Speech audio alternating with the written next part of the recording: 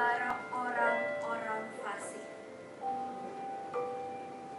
Dan dalam matinya, ia ada di antara penjahat-penjahat.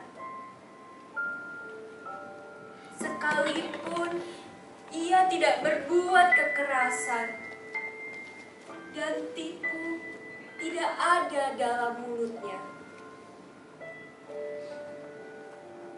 Tetapi Tuhan berkehendak meremukkan dia dengan kesakitan.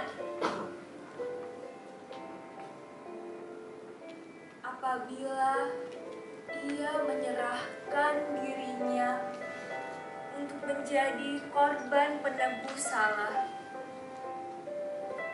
Ia akan melihat keturunannya, umurnya akan lanjut, dan kehendak Tuhan akan terlaksana.